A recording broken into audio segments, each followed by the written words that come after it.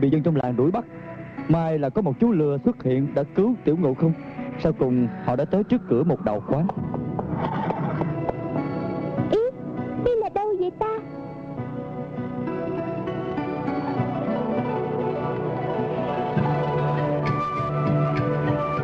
Trong lúc ngẫm nghĩ Tiểu ngộ không đã trượt chân té xuống đất. Mai thai Vào trong đi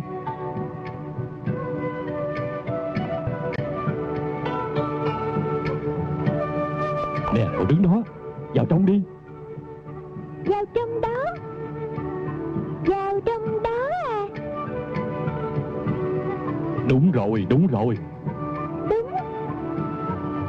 Không không vào Không vào. Vào trong đi. Sau vài cái trùng mình Chú lừa đã biến thành con rồng vàng bay vào trong đạo quán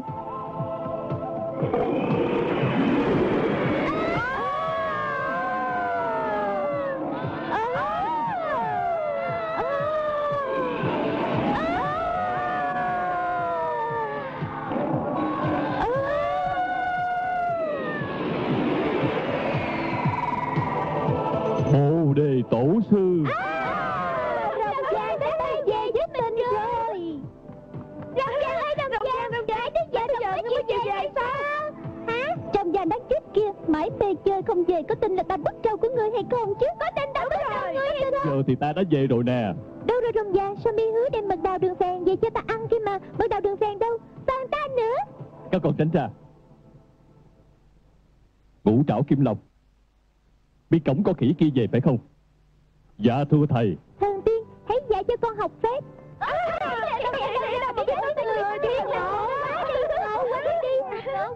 Sư phụ à, con khỉ này thật là ngộ. Hay là mình nhốt nó vào trong chuồng nuôi nó đi. Phải rồi, phải rồi, phải rồi. Sao có kiểu tàn nhẫn như vậy? Sư phụ, khỉ thì đâu biết nói. Con này nhất định là yêu tinh rồi. Con không phải yêu tinh, con không phải yêu tinh đâu. Ừ, bụng đói đến nỗi sôi sùng sục. Táo quân đưa trái lê của mi cho nó ăn. Nếu ta nhường cho nó hả? Không được đâu. Ê các con im lặng Im lặng đi. Khỉ con kia Mi xin được học phép. Tên Mi là gì? Không họ không tên là loài khỉ trong rừng. Phụ mẫu Mi ở tại làng nào? Không cha không mẹ. Không cha cũng không mẹ không lẽ là đá thạch sinh ra mi? Đúng rồi đúng rồi. Ủa Nếu là vậy thì ta không thể nào dạy cho Mi học phép màu được Vì ta đã từng thề trước linh vị của tổ sư. Ta không thể dạy cho người phàm tục học phép màu được. Nè Đây tất cả đều là đệ tử của ta. Cha mẹ chúng đều là người trong tiên bang. Mi về đi. Hả? Thần tiên thần tiên hãy dạy cho con học phép màu đi thần tiên. Dạy cho con học Ta đã phép nói đi. là không dạy cho Mi rồi mà. Dạy cho con học phép đi Ngươi thần Mã Dương tiên. thật hả Du. Dạy Lời cho nói ra con ngoài. đi thần tiên. Dạ sư phụ. Đừng có đuổi con đừng có đuổi con. đó sư phụ Các con đừng đuổi con sư phụ. Đừng Cho đuổi con. đừng đuổi con à, dạy cho con học phép đi thần tiên dạy cho con học Ai, phép đi thần Không tiên đã trải qua bao gian nan mới học tìm được thần đi tiên Không ngờ lại bị trốn tiên Không những nói mi là con khỉ do đó ta sinh ra mà còn đuổi khỏi đạo quán Trời cao đất rộng Ngộ Không đâu còn biết tìm thần tiên ở đâu Và như vậy Ngộ Không có bỏ cuộc hay không Lẹ đi, lẹ đi, lẹ đi, lẹ đi, lẹ lên, lẹ lên, lẹ lên, ra ngoài này chơi nè. Không chơi nữa đâu, hại ta bị sư phụ đánh hai roi vừa ý mi chưa? Đáng, bị sư phụ đánh đòn. Ta đâu có ghẹo mi, chính mi đã trèo chân ta trước, rồi ta mới nắm búi tóc của mi thôi mà. Mi thật ngoan cố. Giờ còn định đổ thừa ta nữa, có tin ta quạt cho mi bay ta tận tới thiên không? ta, ta tin chứ. Mi tưởng ta không biết dùng sừng trâu hút cho mi à? À, lại như vậy nè. Nè, nè, nè, nè, hai người đừng có đứng đây cãi qua cái lại nữa. Trong phòng của mình hôm nay lạ lắm, giờ đây coi nè. Chuyện gì mà lạ? Trời ơi! Trời ơi! Đâu quá! Nhiều lạ quá ha! Chuối nè, mận Trời ơi, mận nè, bánh gai nè, lê nè, táo nè! Trời ơi! Nhiều quá! Đuôi da của ta nè! À, cho mừng cho ta chứ! Cho mừng cho ta báo với! Đưa cho ta! Đã lâu báo quân ta đã không được ăn món này rồi đó! Sáng nay lúc mình vào lớp, đồ đạc trong này bừa bãi lộn xộn lắm kia mà. Phải rồi, chỗ này của ta hôm trước đã bốc ra mùi hôi rồi mà, sao hôm nay lại thơm vậy? À, phải rồi, phải rồi. Ý, ai đã xếp giùm chiếu gối giùm cho mình vậy nè? Đại thiếu gia, tiểu cô nương vừa mới đi học về à? À, phải phải đi xếp giùm cho bọn ta không? À, giúp huy động mi quét dọn giùm chúng ta phải không? Đúng rồi, đúng rồi, tôi đã học được à. Quét nhà nè, đấm bóp nè. Ở trên gối già đó hợp với nói của người ta để hầu hạ cho chủ nhân mình. Sư phụ nói là không nhận những giống khỉ phàm tục kia mà. Phải rồi. ta sẽ hầu hạ các ngươi không tính công. Sư phụ dạy phép cho các ngươi các ngươi dạy lại cho ta. Hợp lấy nha ý trao đổi được sao là vì tụi mình đứa nào cũng xuất thân là thiếu gia mà không có đầy tớ hầu hạ thì không giống gì. Phải rồi phải rồi. Không may nếu để sư phụ biết được thì bọn mình sẽ bị đánh đòn đó. Sống mà mi lại sẽ chết. Vậy thì dở quá. Khỉ con à mi hồi nãy nói là biết đấm bóp. Sáng nay ta luyện phép giờ trên da ta hơi nhức mỏi. Mi xoa bóp giùm ta nha. Ta sẽ dạy cho mi học môn thuật động thổ. Phép động thổ tốt Tuyết cô nương cô thấy sao?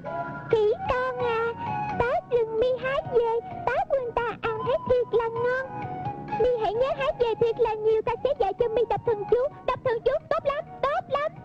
Con khỉ qua đây để bà dư ta dạy mi cách phi thân. Tốt tốt lắm ta giành trước mà. Bà dư ta giành trước mà. Cái đòi xoa bóp cho ta trước mà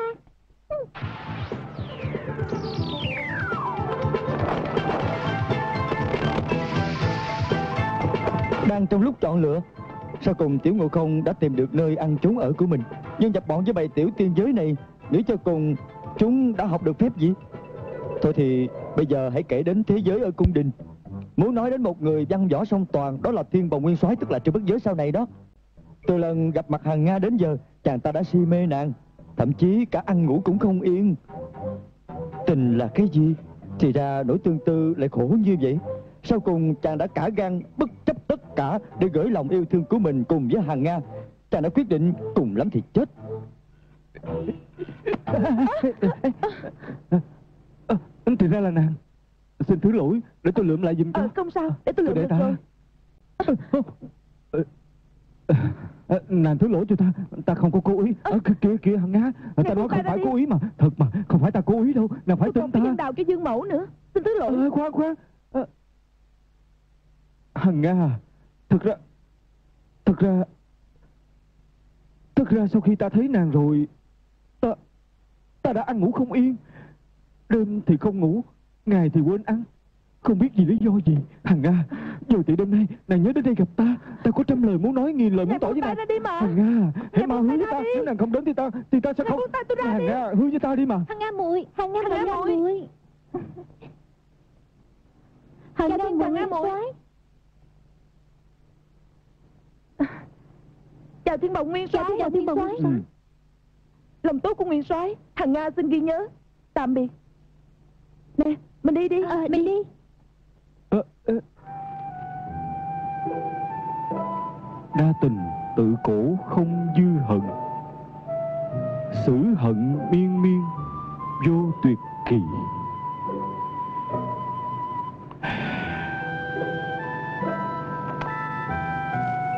Hằng Nga Sao nàng lại nhẫn tâm? Sao không dành cho ta một lần cơ hội vậy? Nếu như ta không gặp lại nàng, Chắc ta mắc bệnh tương tư mà chết thôi.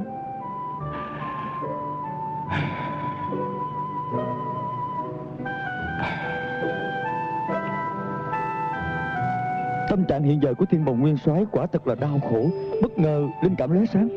Đúng rồi cho dù ngô cưng có đi chung. Hãy để chàng nhìn thế nào một lần, Cũng mãn nguyện rồi. Trong lúc bối rối, thiên bồng đã quyết định, Chàng đã dùng phép màu hiện quang Để nhìn trộm hằng nga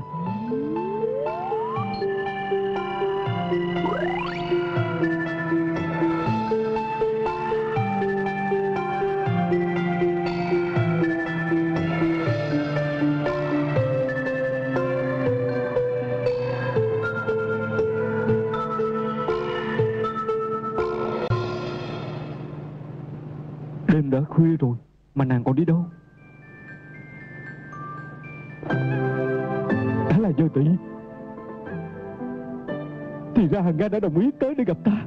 Nàng đã đồng ý gặp ta rồi. Ôi Hằng Nga ta đến đây. Nàng nhớ chờ Nhớ chờ ta.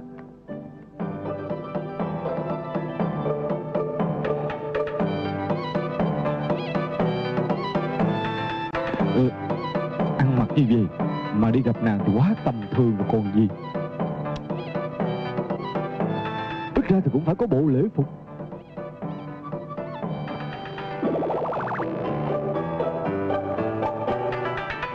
Ta thật là tuấn tú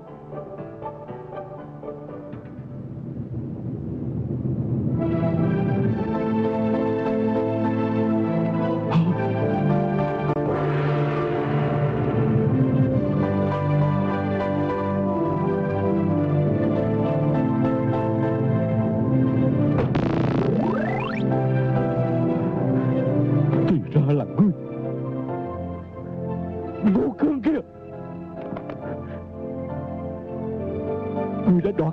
đoạt ta yêu.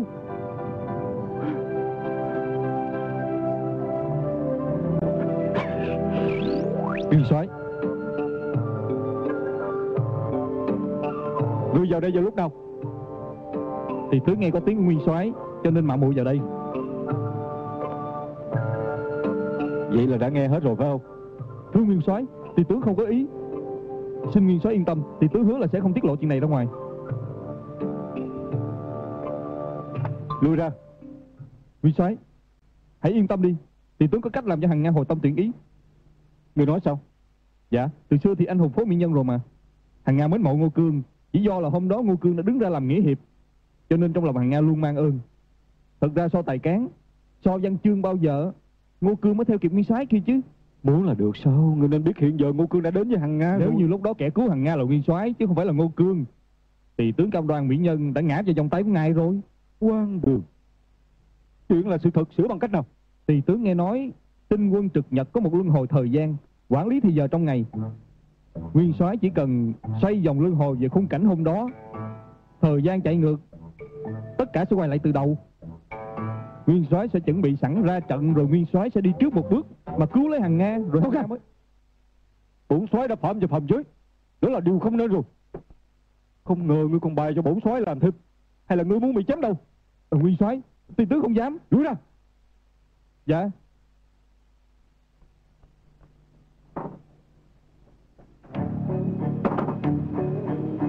Ai, Hồng Nhan Họa Thủy nói thật không sai mà.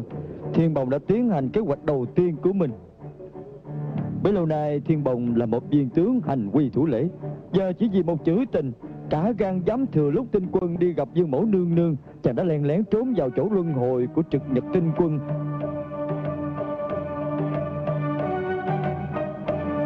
Sau khi Thiên Bồng bước vào, Mắt nhìn thấy luân hồi thời gian thì ngẩn người ra. Ây cha Lòng đã quyết định làm cho thời gian chạy ngược trở lại Là để đi trước ngô cương một bước Diễn cảnh anh hùng cứu mỹ nhân. Do chàng nghĩ ra Lần này len lén chuyển ngược thời gian vào ngày mùng 8 tháng 8 giờ thân.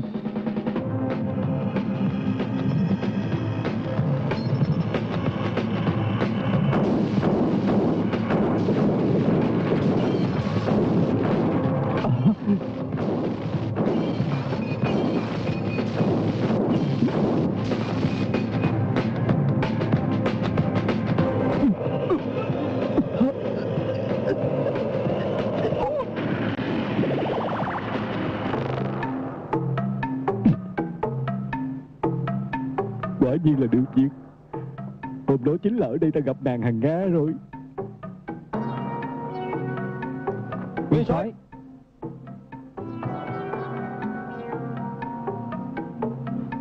Các người dắt vào trong phủ đi. Dạ. Chúng ta đứng qua bên kia. Hôm nay thì ngươi đừng có hòng đoạt được mỹ nhân Lần này thì đến phiên thiên hà nguyên soái diễn cảnh anh hùng cứu mỹ nhân rồi. Thiên bồng nguyên soái. Ờ. Chúc mừng phủ nguyên soái của ngài Lạc Thành. Để có chút lễ vật thay cho lòng thành. À được rồi là chỗ em biết đừng có xấu À, Thiên bồng nguyên soái à. Ồ, nãy giờ ngài cứ ngước nhìn lên trời để làm gì? Đâu huynh không có biết đâu. Không biết. Vậy thì Nguyên nhìn. soái. Trời ơi Nguyệt Lão là cái chuyện gì đấy Tuy quen nhưng lễ không sao quên. À, Thôi đưa đây đưa đây Ờ. Kim dị dị của nương kìa? Cứu tôi với. Chuyện đã định sẵn Ngô Cương vẫn lẹ hơn chàng một bước.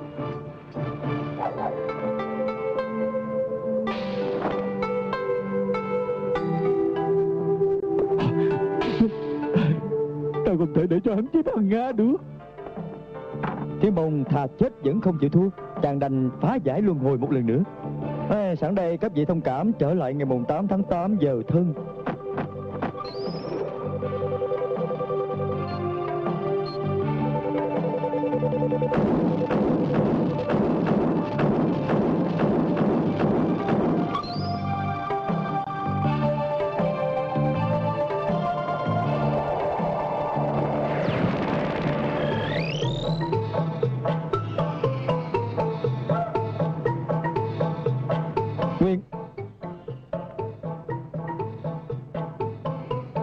Dắt vào trong phủ đi. Dạ. Dạ. Tao qua bên kia đứng. Lần này tao mà thua ngươi tao hứa không giữ chức thiên hà này nữa. Thiên bồng nguyên soái. Ồ ta bạch kim tinh. Lão huynh sang đây để giữ ngài phủ nguyên soái lạc thành chứ gì? Ta đã tạ lòng thành của lão Phiền lão đến xa ta hai trượng lĩnh vật cứ để xuống đất được rồi Không cần lo. Ở sao để lễ vật xuống đất vậy? Đừng có chạm vào mình ta. Ta biết lão huynh đây là nguyệt lão Tuy quen nhưng mà lễ vẫn phải có. Lễ vật thôi thì cứ để xuống đất cho ta được rồi. Ờ, Ủa? Thiên bồng nguyên soái làm cái gì vậy? Không biết nữa. Không biết à. Thiên bồng nguyên Đừng soái. có chạm vào ta. Tránh ra tránh ra. Ờ, ờ, ờ, Không được rồi. Ờ, Hẳn nguyên soái bị trúng tà. Ờ, Thôi chắc là ta phải gặp dương mẫu nương nương Để bẩm lại chuyện này nữa rồi Ờ, Nè nè nè nè. Hai cái lão già kia Đừng có xen vào chuyện của ta có được không? Nè Ta sợ các ngươi quá đi. Ờ Ờ kìa hành giả cô nương kìa. Hả? Cứu tôi với. Lần này thì sao? Hằng Nga vẫn nằm gọn trong tay của Ngô Cương Thiên bồng nguyên soái có tiến bộ hơn hai lần trước Nhưng mà sau cùng cũng chính Ngô Cương chiếm được Thiên lòng của Mỹ. Nguyên soái ngài có sao không? Ta không sao. Ờ. Nhưng mà lão thì tính sao đây Ê, đừng, đừng, đừng, đừng? Tại sao vậy? Hả? Ta trách ai đây?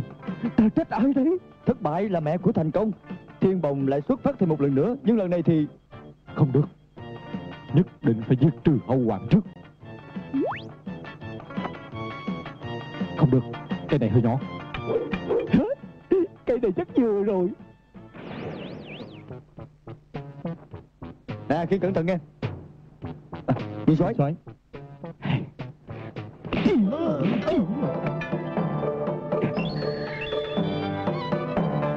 bồng nguyên soái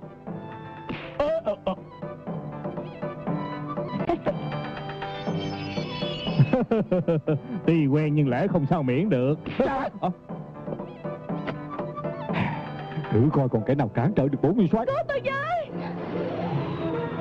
Ha, Lần này không gặp phải cản trở Không hề có một kẻ nào là đối thủ. Hằng Nga muội Nàng không sao chứ? Chàng là ai Sao lại biết tên của dân nữ? Ta là Thiên Bồng. Sau cùng Thiên bồng đã đón được mỹ nhân trong vòng tay của mình. Đây là thắng lợi của trái tim. Thiên bồng nguyên soái. Hả? Tại sao Khanh lại nặng tay với Kim Tinh và Nguyệt Lão vậy? Hạnh phúc không phải dễ đến. Tội là do nguyên soái cố ý dùng cây đập xỉu kim tinh và nguyệt lão sau cùng đã bị dương mẫu nương nương phạt 500 heo? Tuy Hằng Nga đã được thiên bồng cứu mạng, Nhưng nàng vẫn cảm thấy hành vi của thiên bồng khác thường. Hành vi quỷ quyệt cho nên nàng vẫn chán chê thiên bồng. Ngược lại, càng ngày càng thích chàng ngô cương hơn. Sau trận đòn tan da nát thịt, Thiên bồng đã quyết tâm không nghĩ đến Hằng Nga nữa. Có điều chàng không ngờ cuộc gieo duyên lần này Chính là cái cớ chàng biến thành cho bất giới sau này. Bây giờ trở lại dương gia để coi tiểu ngộ không học được phép màu gì. Từng từng từng Trinh Trinh. Để mình đưa bạn đi tìm người cái đã. Cộng thêm gì hảo có được không? Vai diễn kinh điển của TVB Hóa thân thành mô hình Cả bộ 19 con Ký ức chung đã tràn về. Muốn đưa chúng tôi về nhà Hãy lập tức tham gia trở thành hội viên fan vàng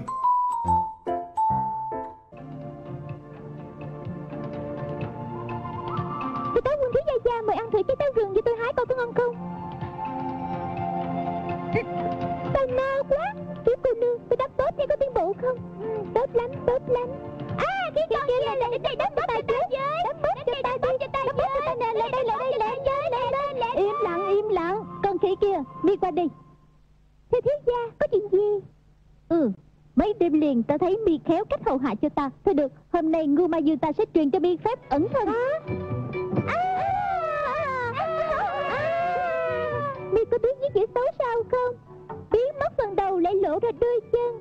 Giỏi nhất chỉ có một lần biến được cả thân vậy mà còn đòi làm sư phụ người ta. Hmm.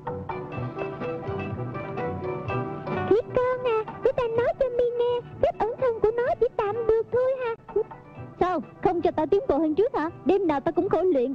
Chống mắt ra mà nhìn ra khí độ trước đạp thất tình. Bộ tấu thi cung. Kim mộc thủy hỏa thổ Thần tiên giúp ta biết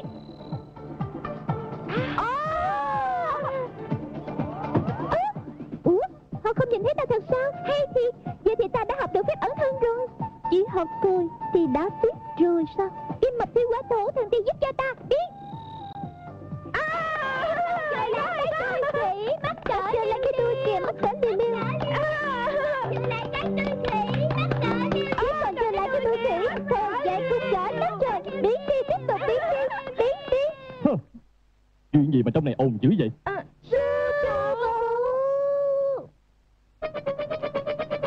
Tất cả các con Không đứa nào biết tự trọng lấy mình.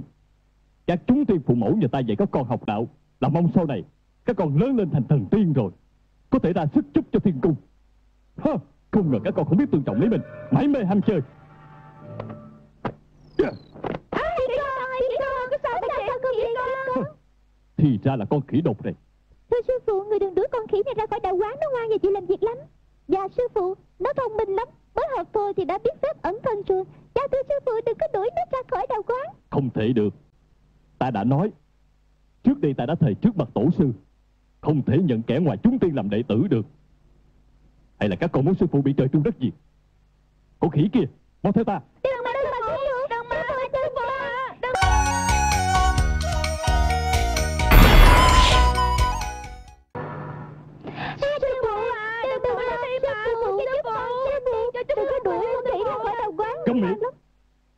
Khỉ con kia Đi ra khỏi đây Thưa Bồ Đề Tổ Sư, người thường nói người sẽ dạy cho các đệ tử trở thành thần tiên, sau này lớn lên sẽ giúp cho Ngọc Hoàng Đại Đế.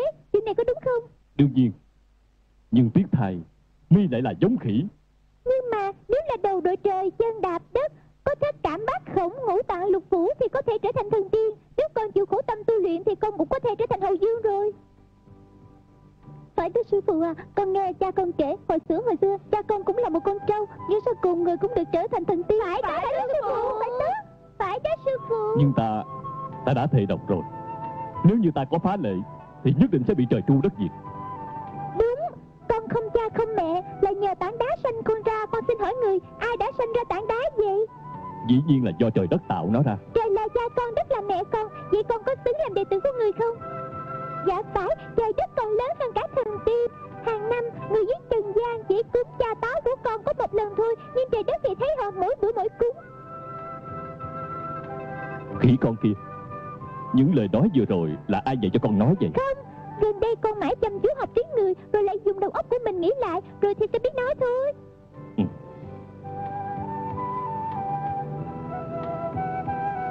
Ừ. Tam dương giao giới phản bần sinh Tiên thạch bao hàm nhật nguyệt tinh. Ngưng hồi pháp hầu duyên đại độ. Giả tha mạng Tánh phối đơn thành. Thì ra mi là do thiên địa tạo ra. Nhờ dạng vật tinh hoa sinh ra một hầu tử hả?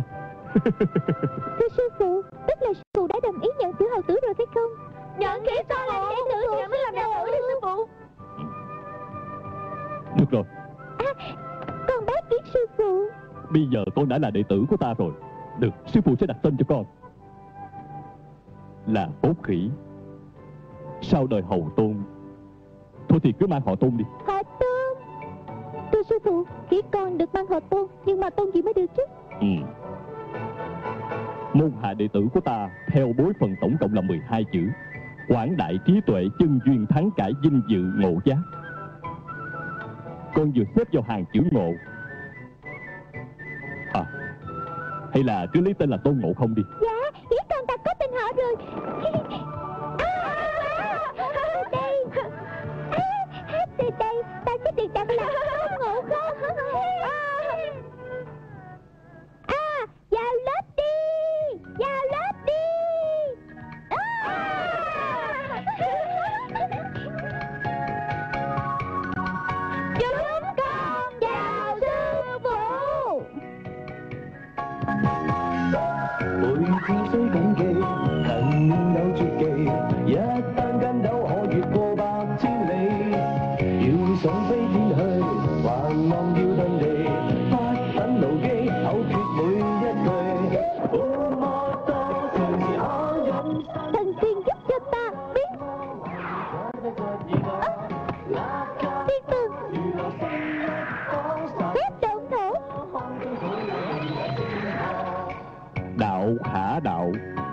thường đạo.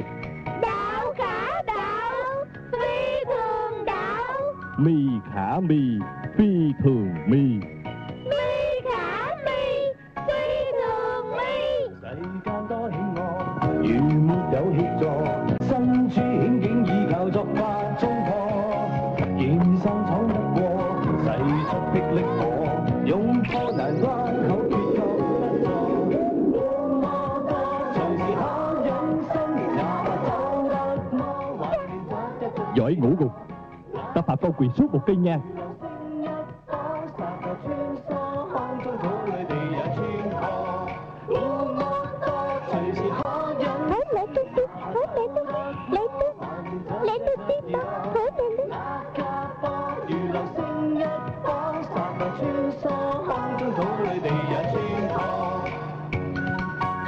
Tiểu Ngộ Không đã sống những khoảng thời gian trên tam tinh quan.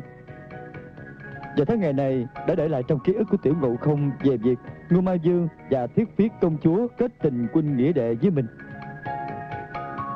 Nhưng cảnh đẹp thì thường chóng tàn. Tiểu Ngộ Không nào ngờ hào kiếp đang đứng chờ từng ngày từng ngày một. Chúng con chào sư phụ. Ừ. Các con lên đây học phép Đã trải qua một thời gian lâu trên này Thầy thường khuyên bảo các con Nên chọn lấy một phép màu nào để mà khổ luyện. Các con đã luyện ra sao rồi? Có đệ tử nào muốn trổ tài cho đồng môn sư để coi không?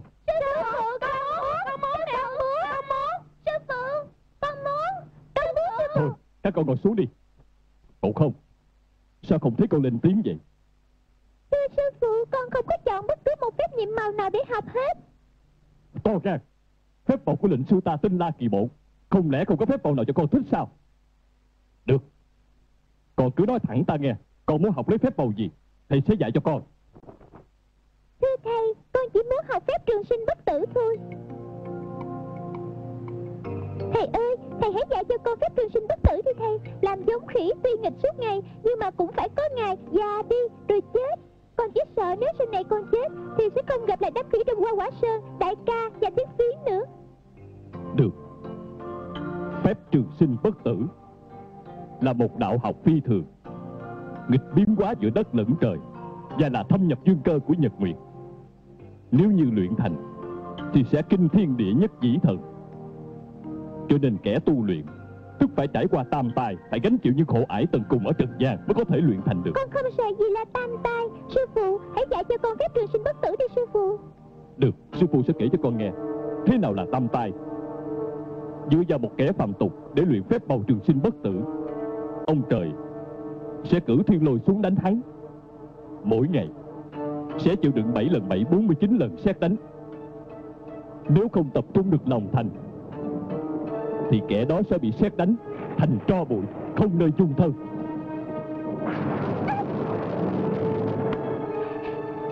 Còn nữa, Nếu như kẻ đó có cách tránh được những luồng xét thì ông trời sẽ cử thần gió tới cuốn đem đi. Luồng gió đó Sẽ thổi vào ngũ phủ lục tạng, Thọc thẳng vào đơn điền, Khiến cho thịt xương phải thối rữa cho đến khi chết. Cho dù con có thoát được chăng nữa, Thì ông trời vẫn cử thần lửa xuống để thiêu quỷ con. Lửa của trời Sẽ xuyên qua mình con, Nó sẽ thiêu quỷ lục phủ ngũ tạng Và cả da thịt của con. Dù cô có sẵn thuật đạo hạnh ngàn năm chăng nữa Thì cũng không sao tránh được sức mạnh của nó Sư phụ, tôi đừng kể nữa, đệ tử không dám nghe nữa đâu. Phải rồi, ngồi không mà chúng ta đừng học, mình vẫn còn nhỏ. Bao giờ mới đến già chứ? Mình còn nhỏ, sức còn khỏe, không chết được đâu. Khi nào chết rồi, hãy tính đi. Phải rồi, ngồi không mà, đừng học nữa, nghe thật là ghê. tôi học phép màu khác đi.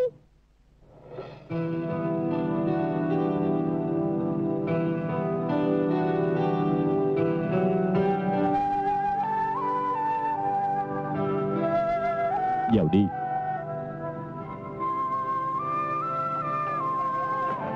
Sư phụ, Ta biết là con sẽ lên đây thưa sư phụ, con đã nghĩ kỹ lắm rồi. Dù có gặp gian nan đi nữa, con cũng phải học phép trường sinh bất Con là kẻ do trời đất sinh ra Nhờ dạng vật tinh hoa nở ra một linh hầu. Đương nhiên là con có một ước nguyện không bình thường rồi.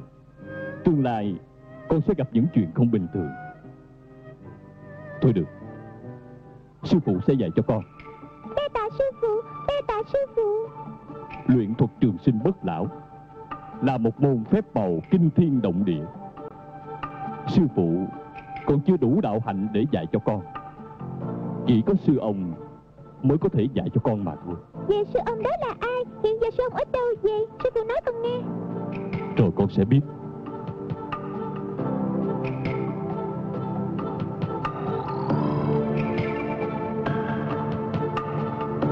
Sư phụ, đây là đâu vậy? Trên này là cảnh giới vô cực Cảnh giới vô cực. Nơi cảnh giới vô cực này Là nơi càng khôn đảo lộn Cũng là nơi âm dương chảy ngược dòng Nội bí ẩn của nó Chút nữa con sẽ lãnh hội. Còn sư ông đâu? Nếu con muốn học được thuật trường sinh bất tử Ngoài việc trời đất tạo ra con Điều quan trọng là Con phải biết phát huy bản năng của mình. Sư ông đó Chính là bản thân con. Bản thân con. Ừ. Nè Ngộ công Từ đây không ai có thể giúp con được đâu. Nhớ là phải cố gắng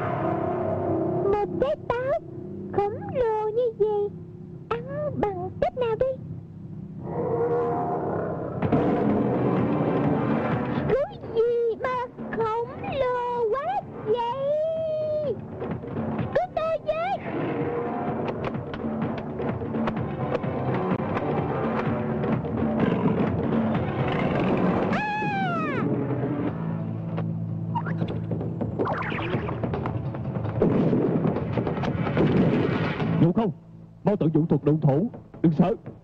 Động thật chú đi. Phải rồi, đất trời xoay chuyển Động. Cứu con với Sư phụ. Cứu con với Ngộ không? Mau dùng thuật ẩn thân đi. Dạ nghe. Kim một tiểu quả thổ thần tiên giúp cho con Biết. Ê ta đây nè gấu đen. Hay là mi sợ? Ta bay.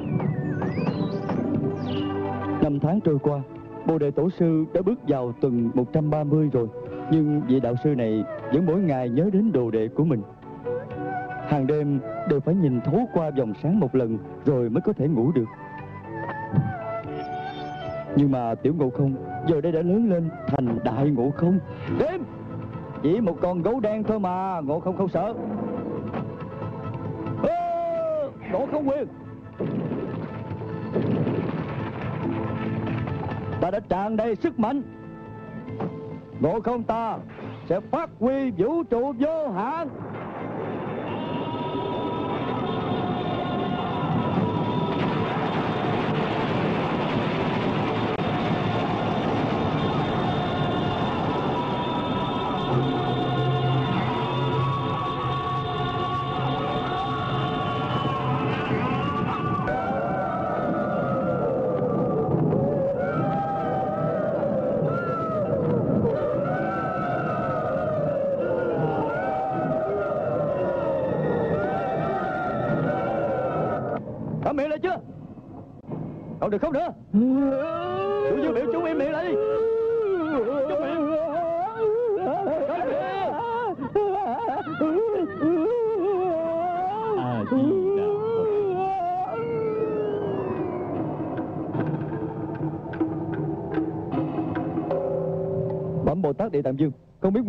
Đám âm hồn kia cứ khóc than nãy giờ.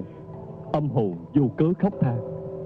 Nhất định là có kẻ trên trần gian đã hấp thụ linh khí của trời đất, hút hết những nhật nguyệt tinh qua để luyện lấy phép màu.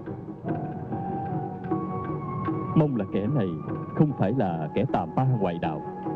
Nếu không, từ đây đất trời sẽ đảo lộn.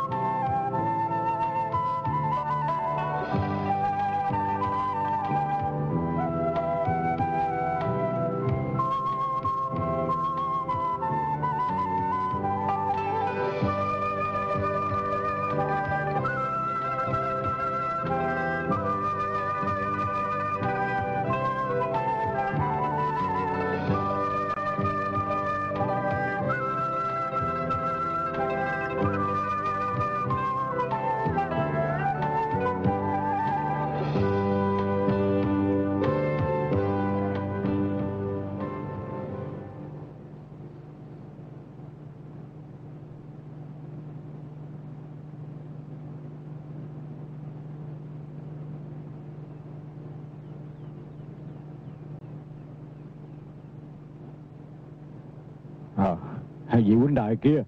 Ờ, Tôi có thể giúp được gì cho huynh không? Đạo huynh à Cho tôi hỏi thăm Bồ Đề Tổ sư có đây không? Ồ, huynh là ai? Huynh tìm sư phụ ta có chuyện gì? Đấy Sư phụ của lão huynh Vậy là lão huynh là ai? Ta hỏi huynh là ai Thì huynh là hỏi ta là ai? Thật ra huynh là ai? Ê, Ta là Tôn Ngộ Không đấy nè. Hả? Huynh này chính là con khỉ độc năm xưa. Ôi, Mừng quá mừng quá. Huynh là ai Là thần già du đây nè. Huynh chứ phải không à. Cầm gì sư huynh đệ đâu Mau ra đây Mau ra đây nhanh lên Mau ra đây. Có tin mừng Có tin mừng có tin mừng. Chuyện gì, chuyện gì? Vậy. chuyện gì mà kêu kỹ ồn qua là ai Ờ, là ai? Ờ, là ai vậy? Hả người này là ai vậy? Nè, chính là kẻ ra đi đột ngột năm xưa. Bây giờ trở về trước sau mất hết 50 năm con khỉ đột mình thấy rồi năm rồi rồi. Ôi ôi À, lão kìa, quá. Lão đây là ai? sao Để nhướng mắt nhìn ta Ta chính là thổ địa đi mà. Không không nhận ra ta hay sao? Có phải là tổ địa không. Tổ địa của ta. Ừ, Tổ địa của ta. Tổ địa của ta. Tổ địa của ta. Tổ địa của ta Tổ địa Tổ địa Tổ địa. Nhớ táo quân sư huynh đệ không Đó, lại. Hả? huynh này hả? Tao qua trai huynh của ta Ờ, vậy lão huynh này là ai? Lão huynh này là ai vậy? ta trai ồ lão huynh là ai vậy? Lão quắc à? Ta không quen biết ngươi. Sao ngày ngươi đi khỏi ta mới lên bá sứ à, đây đây đây đây, đây tao hỏi nè. Vậy còn tiểu ma dương cùng với thiết phiến công chúa đâu? Ờ, Ờ, ờ, ờ, ờ, ờ. Nhắc tới chuyện của họ thì phiền phức lắm Vài năm sau đó họ móc ngoéo với nhau. Sau cùng thiết phiến đã làm ra chuyện gì tai tiếng? Để cũng biết mà sư phụ sao mới biết được chuyện này? Sau cùng họ đã bị sư phụ đuổi khỏi đạo quan rồi. À, phải rồi phải rồi. Đã lâu lắm các huynh đệ ta cũng không gặp. Nghe kể họ đã sống chung và có một đứa con nữa tên gọi là hồng hải. Có phải không gì lúc nhỏ tính của ma dương sẵn tính tò mò rồi. Từ lúc nhỏ đây đã biết tính của bao nhiêu rồi Nè nè nè nè. Vậy để đã học thuật trường sinh bất tử chưa? Ờ phải rồi phải rồi cần gì phải hỏi Có thấy đệ già đi đâu? Ờ còn trẻ mà. Ồ ha bọn ta đây là ai cũng già hết nhưng đệ thì À. vẫn còn trẻ. À. à, phải rồi đệ ờ, học thuật ờ, trường sinh bất tử ờ, đến đâu rồi? À đến đâu rồi? Để nghe đi. Ta chưa chết lần nào làm sao ta biết? Ờ. nhưng mà ta đã học được 72 phép biến hóa. 72 phép biến hóa? Biến việc gì? Ờ, muốn biết gì thì biết. à, Biến đi, biến đi. Biến đi. Tới được. À. Trang Hoa quả sơn thủy liêm động Bỉ hồ dương Dương thượng dương tôn ngộ không Biến Ôi trời Biến thành cây chổi rồi. Cây chổi biết quét nhà mà không thấy nghe hết. Hay quá hả Ông quét sạch nước kìa. Ủa? Hoa quả sơn thủy liêm động Bỉ hồ dương Dương thượng dương tôn ngộ không Biến Ủa? Ủa? Bay bay Thích không? Thích thích thích. chưa? Bắt về núi đi. Được Từ ta nha Hoa quả sơn thủy liêm động Mỹ hầu dương tôn ngộ không Biến Ủa? Ây trời hay quá hả? Hay Hay quá. quá Giống sư phụ y như đúc vậy à. Này vậy các con.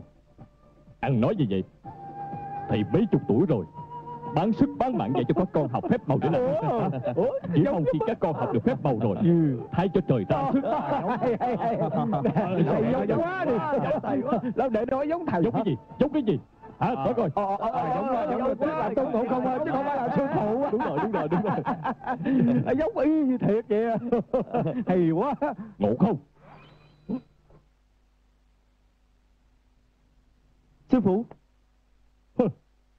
Thì dạy cho con học phép.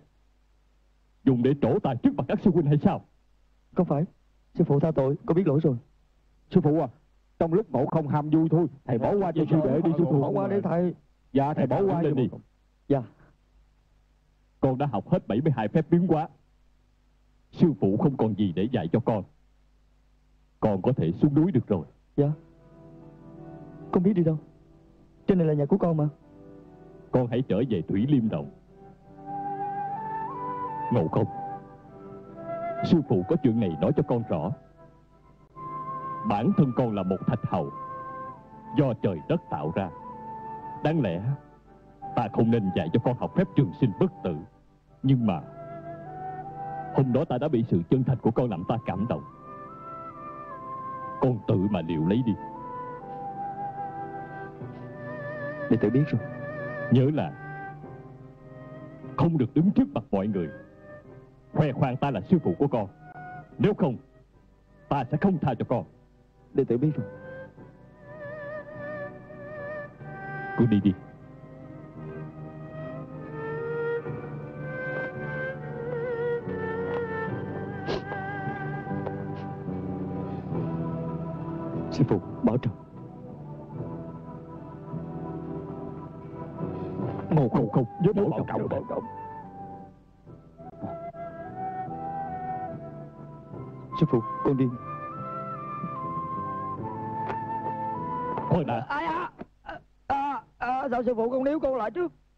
Sẽ dạy thêm cho con.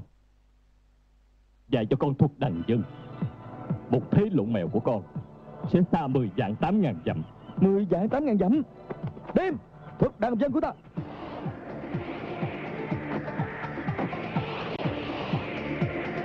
Thuật đàn dân Thuật đàn dân Thuật đàn dân.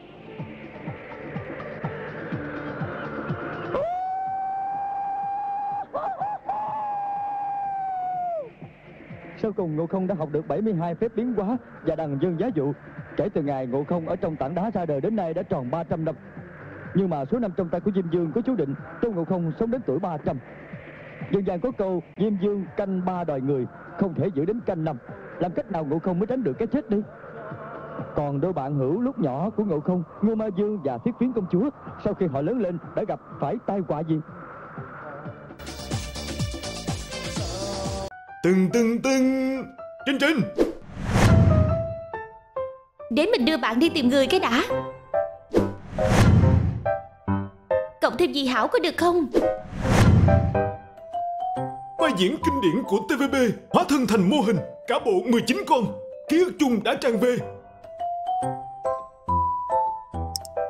Muốn đưa chúng tôi về nhà Hãy lập tức tham gia trở thành hội viên fan vàng